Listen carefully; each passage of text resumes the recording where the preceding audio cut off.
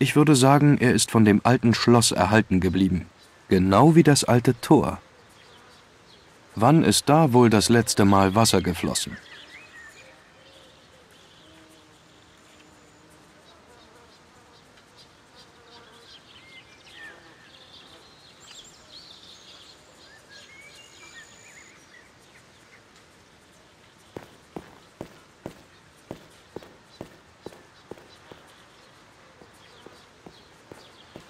Nach Aussage von Eleanor muss Richard irgendwo in diesem alten Haus sein.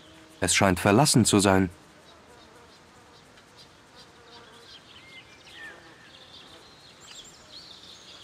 Dee und J.B. Fraser. Die Namen kenne ich nicht.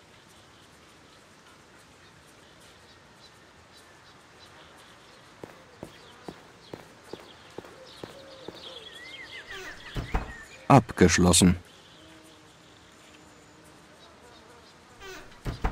Sie bewegt sich nicht einen Millimeter.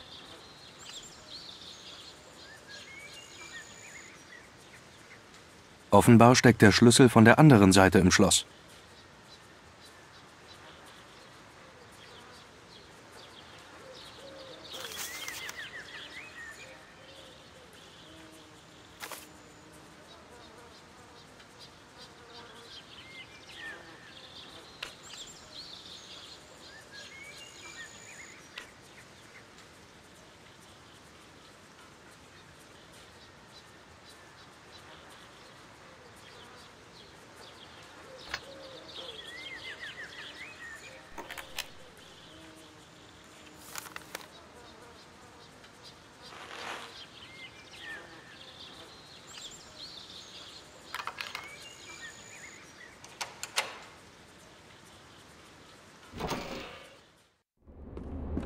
Das Haus scheint verlassen zu sein.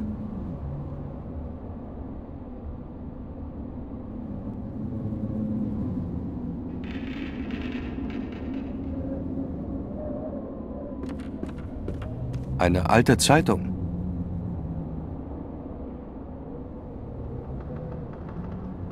Ich will mir daran nicht die Hände schmutzig machen. Eine alte Zeitung.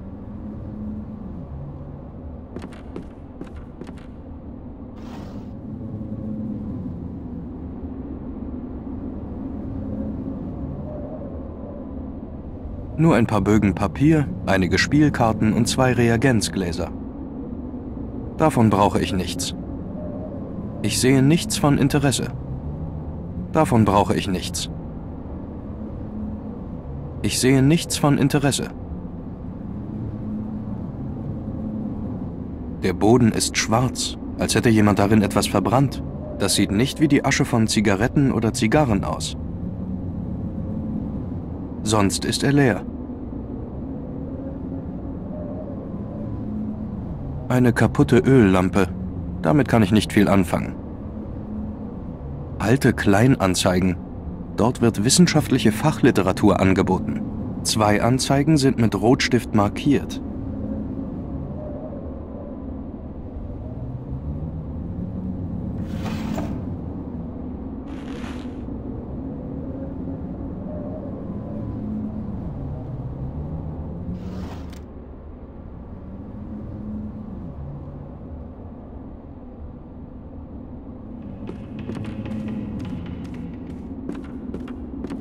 Er ist leer, bis auf die Asche. Er ist leer, bis auf die Asche.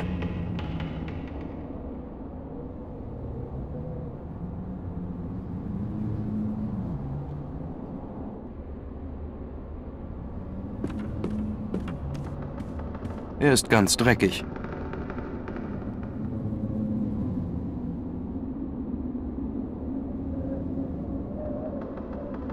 Ich will keinen Tee kochen.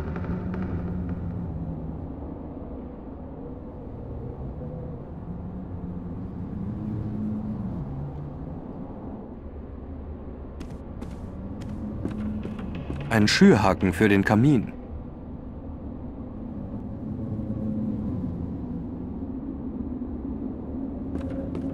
Nur Ruß und Asche.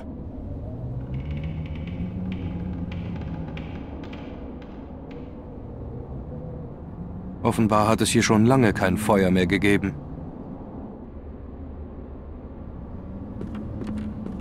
Sie ist fest verschlossen. Sie wird von einem sechseckigen Riegel gesichert.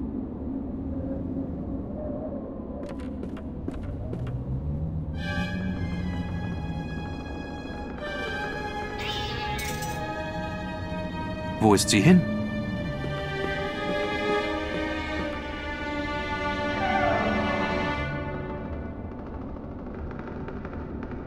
Wo ist sie? Sie ist nicht im Schrank. Es ist zu dunkel darin. Ich kann nichts erkennen. Ich kann darin nichts sehen.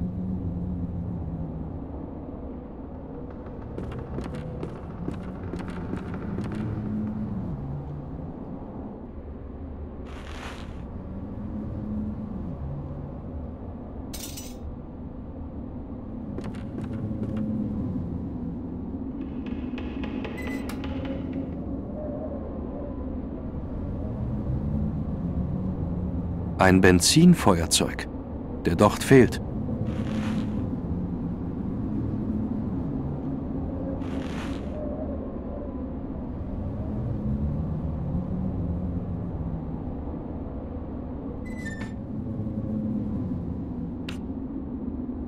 Hm.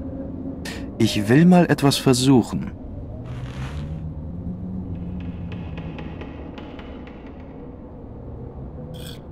Jetzt müsste das Feuerzeug wieder funktionieren.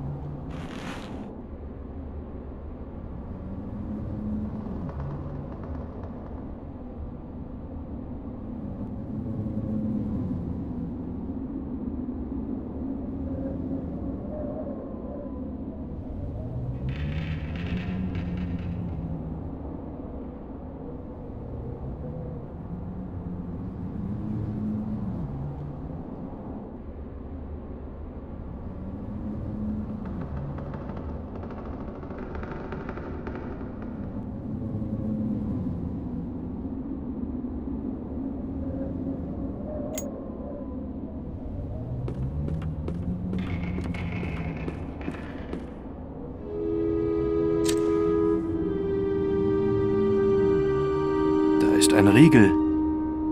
Die Hinterwand vom Schrank lässt sich beiseite schieben. Hm, wo könnte der hinführen?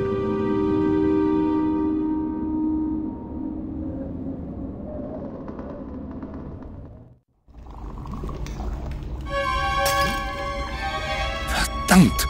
Wer zum Teufel sind Sie? Ich bin Samuel Gordon. Du hast mich halb zu Tode erschreckt. Was willst du? Entschuldigung, ich wusste nicht, dass jemand hier drin ist. Wie bist du hier reingekommen?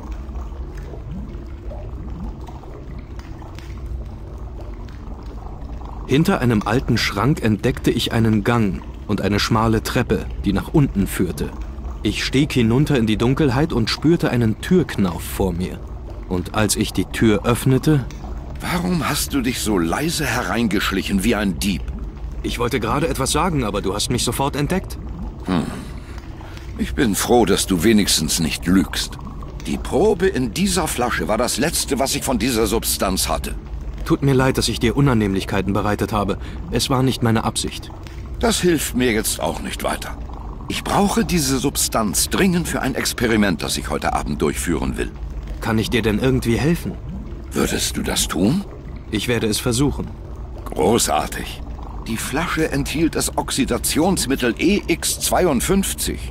Es ist weder ungewöhnlich noch teuer, aber es war mein letztes und ich bekomme erst nächste Woche eine neue Lieferung. Nächste Woche? Tja, wir sind hier ziemlich abgelegen. In den umliegenden Dörfern gibt es nicht einmal Fleckenentferner. Und wo soll ich dieses Oxidationsmittel herbekommen? Wenn ich das wüsste, würde ich es dir sagen. Du könntest dein Glück in Leechdale versuchen, müsstest aber bis zur Abenddämmerung zurück sein. Wenn du dich beeilst, müsstest du es rechtzeitig schaffen. Am Dorfplatz ist eine Apotheke. Da musst du hin. Ich werde sehen, was ich tun kann. Es ist Bohr-Oxidationsmittel EX52. Schreib es auf.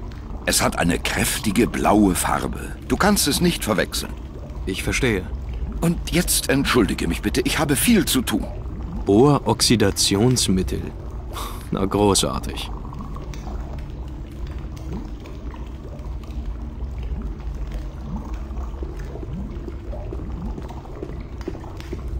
So etwas habe ich noch nie gesehen. Das Ganze ist wahrscheinlich Richards Erfindung.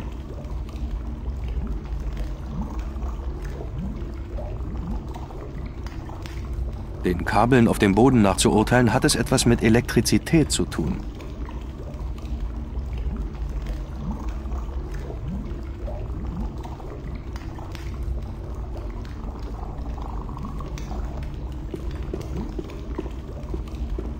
Ich nehme eine.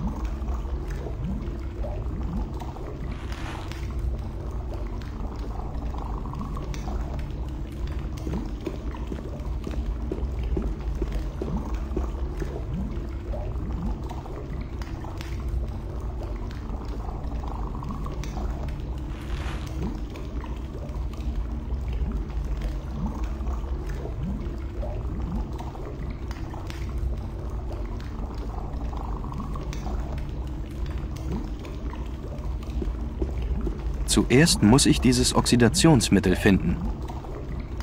Er enthält bestimmt Chemikalien.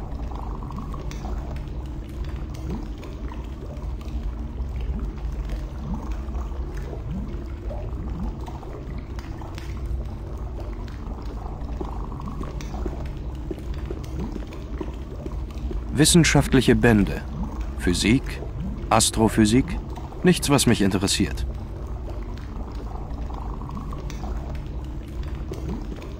Eine technische Zeichnung der Maschine in der Mitte des Zimmers, würde ich sagen. Unter der Zeichnung sind viele nicht zu entziffernde Formeln und Bemerkungen.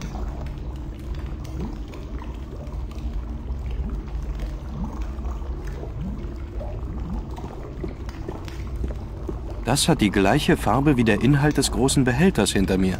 Das Zeug sieht ziemlich gefährlich aus. Die Ketten führen zur Decke des Turms.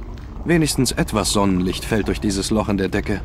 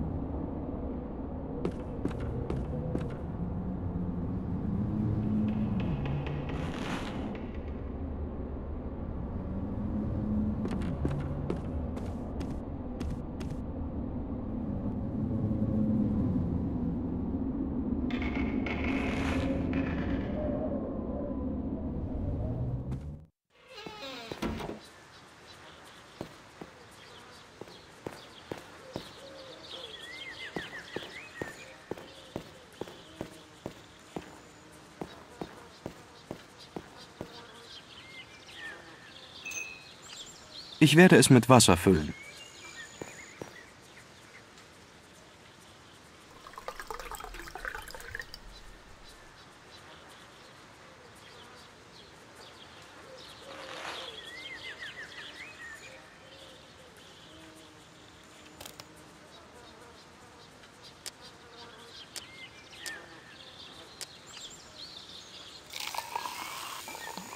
Ich habe die Tinte aus dem Federhalter in das Glas gefüllt. Die Tinte hat das Wasser kräftig blau gefärbt. Er ist etwas älter, aber noch dicht.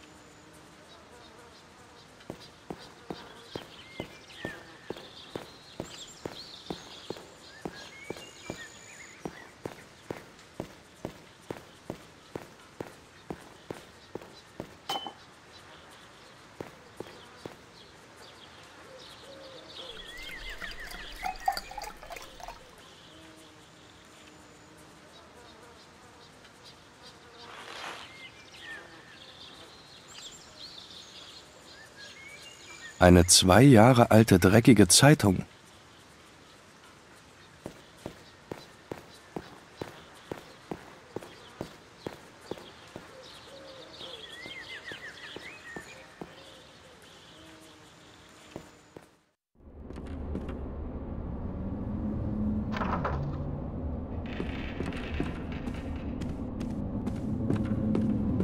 Zuerst brauche ich Papier.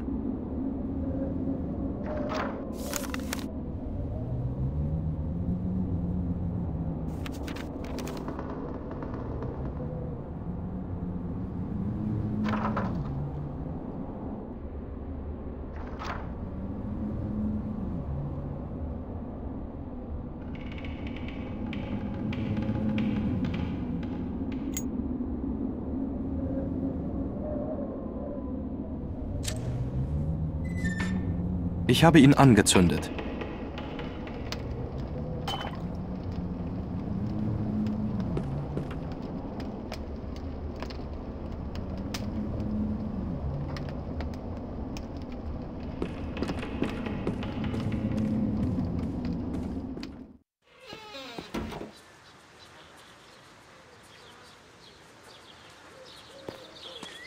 Diese Bretter scheinen neuer zu sein als die anderen am Haus. Jemand muss erst vor kurzem das Loch repariert haben.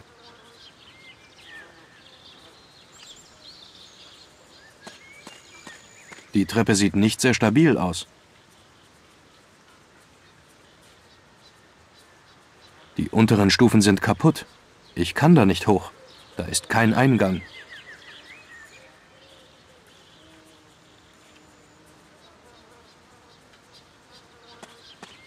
Die hat jemand hier abgestellt. Nichts, was für mich von Interesse wäre.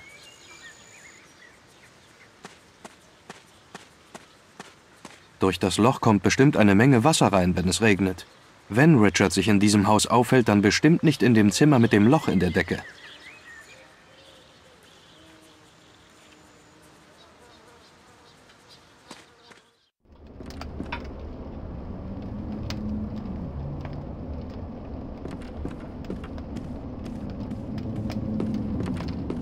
Im Ofen brennt Feuer.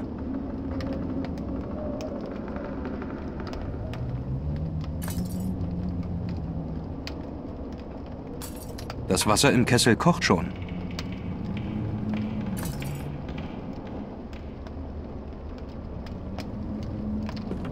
Hm. Ich will mal etwas versuchen.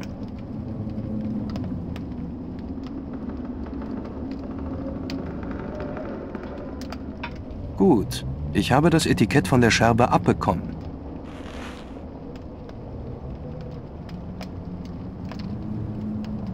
Das Wasser im Kessel kocht schon.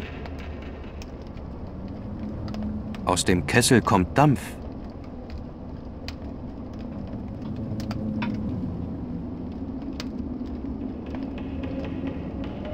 Das Etikett von der Flasche, die Richard zerbrochen hat.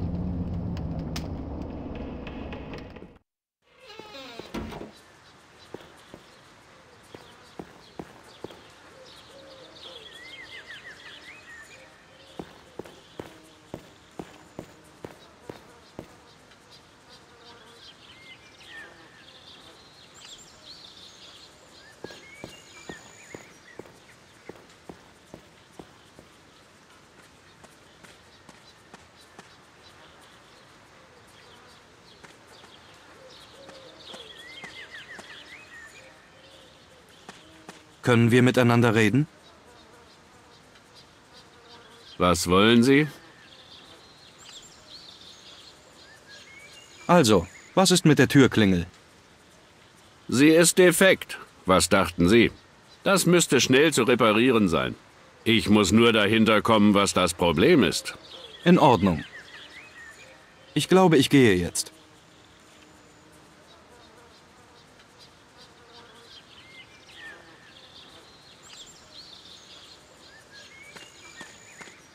Ich kann nicht an den Werkzeugkasten, solange Louis hier ist. Er würde es bemerken.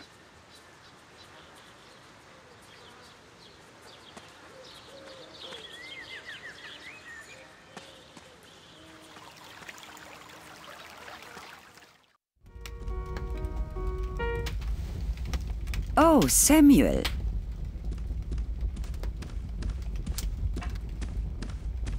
Wie gefällt es dir hier? Hast du dich im Garten umgesehen? Ja, es ist wunderschön hier. Da fällt mir ein, arbeitet Louis noch im Garten? Ja, er repariert die Türklingel am Haupttor. Kannst du ihm bitte sagen, er soll das später machen und jetzt den Rasen mähen? Natürlich, ich sag es ihm. Zu lieb von dir.